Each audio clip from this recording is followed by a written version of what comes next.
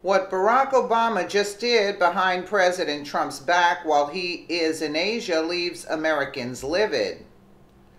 The president is in Asia this week speaking with leaders in that region about the growing threat in North Korea as well as about commerce and cooperation. As he has been in that quarter of the world, events here in the States have been quite dramatic, including the tragic shooting at the church in Texas where an unhinged former Air Force serviceman entered a place of worship where his in laws were attending and shot at anyone who moved.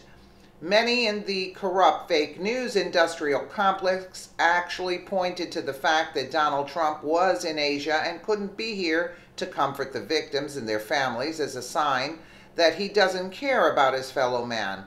No joke, they really did it. Of course, the Democrats didn't waste any time at all to use this tragedy as a way to call for more guns to be taken away from law abiding citizens. That's not the full hypocrisy of all of this, however. The former President Barack Hussein Obama managed to summon up a little courage and use his buddy Rahm Emanuel's famous line about not letting a good crisis go to waste and doubled down on the left's push to steal weapons from American citizens by calling for more gun control. Hours after 26 Christian churchgoers in Texas were killed by a deranged gunman who stormed their Sunday worship service, former President Barack Obama saw an opportunity to take advantage of the situation and President Donald Trump's absence. While the POTUS is in Asia, Obama went behind his back to do the unthinkable to all these victims and their families. When Trump found out about it, he didn't hold back on his predecessor and made him pay for trying to step in as president where he didn't belong. Democrats are notorious for never letting a crisis go to waste, and what happened less than 24 hours ago in Sutherland Springs, Texas, is no exception moments after 26 people were brutally murdered by Devin Patrick Kelley, Obama almost seemed giddy at the opportunity to use it to his advantage and tried to do just that. With fake sympathy for the families suffering the loss of their loved ones and a community in mourning, Obama made a disturbing statement to stab President Trump in the back using these victims suffering in a sickening way.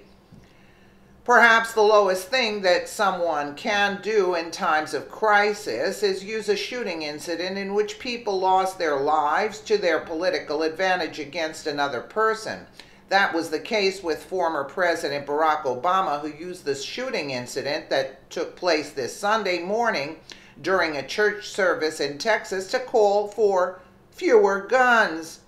Obama stated, uh, started out saying, We grieve with all the families in Sutherland Springs harmed by this act of hatred and will stand with these survivors as they recover before explaining how the American people should ask God for the wisdom to ask what concrete steps we can take to reduce the violence and weaponry in our midst. The former president that has only recently stepped back inside the political arena of the United States didn't go into specifics on how and what these steps should look like. And there is no doubt that Obama's reaction to the Sunday's massacre was far more political than President Trump, who initially attempted to gather the people together and unite them in these hard times. He said, In dark times, and these are dark times such as these, Americans do what they do best. They pull together before finally concluding. We join hands, we lock arms, and though the tears and through the sadness, we stand strong. All Americans pray to God to help the wounded and the families of the victims. Devoid of any real emotion, Obama couldn't save his gun control push for just a few days and let the initial shock and heartbreak over this tragedy somewhat subside. This is a skunk in a wall, a well tailored suit, actually. Anyone who can use people's horror and fear and try to capitalize it, on it by pushing dishonest and corrupt agenda, knowing full well that this narrative is a false fiction designed specifically to gain might through rendering Americans insignificant and powerless is disgusting. This is not a presidential bearing. It is not becoming, nor is it prudent. This is childlike, ignorant, and petulant. But then, what did we expect from a man whose head is bigger than even the chip on his shoulder against America and its founding.